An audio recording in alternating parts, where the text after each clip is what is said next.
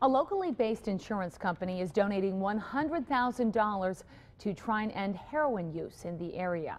Acuity, headquartered in Sheboygan, contributed the money to an anti-heroin task force. That task force will be administered by the police department. Authorities say the group will focus on educating students and the community about heroin addiction. Sheboygan's police captain said the county has seen a 200% jump in heroin related deaths since 2009.